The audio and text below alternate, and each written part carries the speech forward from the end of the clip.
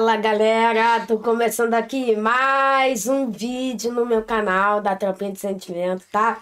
Hoje a gente vai analisar os três jogos, beleza? Que foi Ceará e Palmeiras, Atlético Paranaense Clube da Lagoa e Atlético Mineiro e Fortaleza, beleza?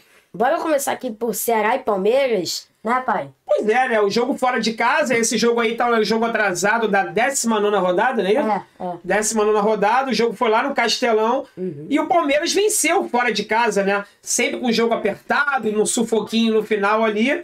E o Andrezinho agora vai ler aqui alguns dados da partida, como posse de bola, finalizações. Vai lá, Dé. Posse de bola, 47% do Ceará e o Palmeiras 53%. Ou seja, o time do Palmeiras, que sempre joga de uma forma muito reativa, hoje ficou mais tempo com a bola. E vamos ver agora as finalizações. Como é que ficou nas finalizações aí? O, o, o Ceará levou uma leve vantagem, né?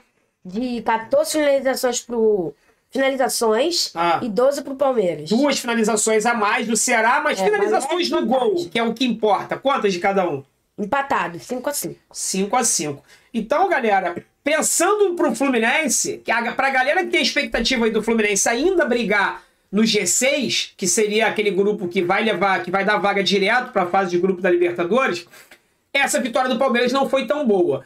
E pra galera que pensa aí que o Fluminense vai brigar pela pré-Libertadores e ficar entre a oitava e a nona colocação, o resultado não foi ruim, porque o Ceará, se emendar aí duas vitórias, já chega naquele bloco lá de novo.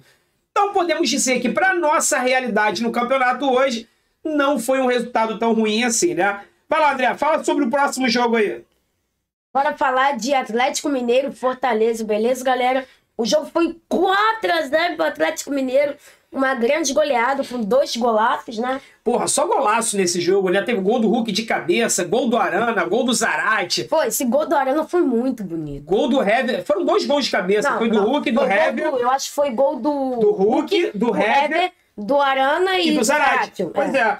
4 a 0 Atlético Mineiro e já matou, né? Acabou a classificação. Você acha que lá aí no Ceará o Fortaleza tem como devolver? Não, não, não, Não, acho né? que não consegue, não. Mesmo com torcida, eu acho que não consegue, não. Pois é, eu acho que nós já temos aí o primeiro finalista da Copa do Brasil. É, pai, mas futebol, é futebol, tudo pode Não, acontecer. tudo pode acontecer, né? É, mas o Fortaleza vai ter que fazer 5 a 0 né? É, e olha que curioso, olha a posse de bola desse jogo, André. Fala pra galera aí.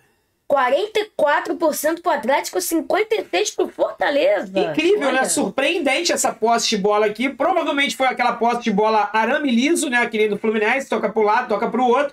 Porque olhem as finalizações. 21 pro Atlético Mineiro, 8 pro Fortaleza. 21 a O 8, Atlético galera. Mineiro jogou pra caramba, galera. Em finalizações. Vamos ver quantas finalizações no gol. 9 pro Atlético Mineiro, 3 Fortaleza. Ou seja, eles marcaram quatro gols, mas foram nove finalizações. Só por curiosidade, vamos ver aqui a nota do Felipe Alves. E não foi boa, não, ó. Seis 6.3. 6.3. Tomou quatro gols, né? Agora ele que toma quatro gols não tem jeito. E eu falei que o Atlético Mineiro é o primeiro finalista, galera, porque o outro jogo não tá nada decidido, né? Pois é. Quanto foi o outro jogo? Atlético Paranaense, Clube da Lagoa, 2 a 2 Incrível. Quatro gols também no jogo. Pois é, né? O Clube da Lagoa saiu na frente, né? Meteu 1 a 0 no primeiro tempo. O Atlético Paranaense no segundo tempo virou o jogo e é importante o Fluminense ficar atento a isso, porque o nosso arquirrival tomou dois gols de Cabeça. dois gols de cabeça, bola aérea. Então é importante o Marcão nessa semana trabalhar bem essa jogada, porque hoje demonstrou ser um ponto fraco e os caras empataram no finalzinho, né? É, com o gol do Pedro de pênalti lá. O jogador burro do Atlético fez um pênalti, né? Subiu Braço no rosto. cotovelo na cara É. ali, numa jogada. A bola Aí fez pênalti, né? O juiz foi lá, viu o VAR e deu o, o pênalti. Pois é. E o arquirrival teve um volume, galera, muito maior de jogo, né? Vê aqui as estatísticas. Posse de bola, Andrezinho, como é que foi? 39% pro Atlético Paranaense, 61% pro Clube da Lagoa. Eita, vamos ver se isso aí é, se transformou em finalizações. Quantas finalizações? 8 pro Atlético Paranaense, 16, o dobro pro Clube da Lagoa. E no gol? Finalizações no gol? 3 só pro Atlético Paranaense. Então, duas foram no gol, 5 pro Clube da Lagoa. Ou seja, o Atlético Paranaense teve três finalizações no gol e dois, Dois gols. foi no gol. Ou seja, um aproveitamento excelente. E eu acho que é esse tipo de aproveitamento aí que o Fluminense vai ter que ter também no sábado para poder vencê-los, tá? Como o resultado não está garantido, como a vaga na final deles não está garantida, muito provavelmente terá um time deles reserva no sábado para enfrentar o Fluminense. Só que o time reserva deles, galera, é Diego, Vitinho, Pedro. Então, assim, é bom o Marcão ficar atento, preparar essa equipe, porque até a equipe reserva deles. Se o Marcão botar um time certinho, dá pra ganhar, né? Tem que ganhar, até porque ganhar. ganhar Fla-Flu é. Normal, galera. É isso aí, pessoal. A gente vai ficando por aqui. Espero que vocês tenham gostado desse vídeo. Se inscrevam Se aqui inscreva, no André Games. Deixa o like.